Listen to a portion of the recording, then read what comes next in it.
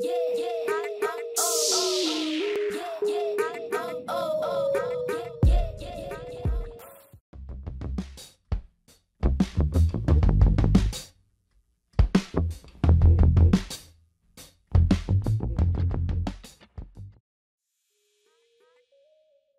Turkish Aerospace, TA, will export two Hürkuş jet trainers to Niger by the end of this year and another three to Chad in the first quarter of 2023.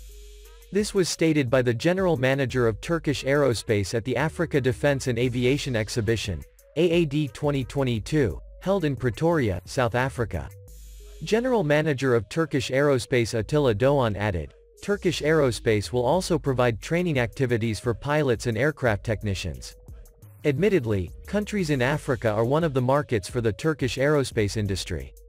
He added that orders from Niger and Chad will increase in the future. The Hürkuş Trainers aircraft is a tandem two-seat, low-wing, single-engine, turboprop aircraft being developed by Turkish Aerospace Industries, TAI, as a new basic trainer and ground attack aircraft for the Turkish Armed Forces. The Turkish government has indicated that the aircraft is expected to attract export sales, possibly from Middle Eastern countries, African countries or countries with limited Air Force budgets.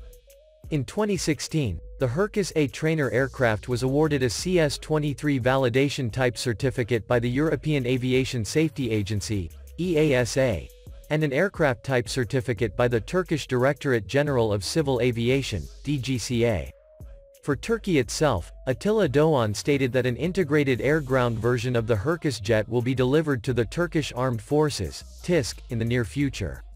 This improved variant is called the Hürkuş-2 and has gone through a critical design process. Turkish Aerospace has also developed a low-cost and high-precision Hürkuş C to carry out light attack and armed reconnaissance missions. Aircraft can be used for protection against asymmetrical threats. The company says, while maintaining the Hürkuş's advanced training capabilities, with its seven external load stations the Hürkuş C offers payloads of up to 1,500 kg. The payload can be used to carry out challenging missions during the day or night.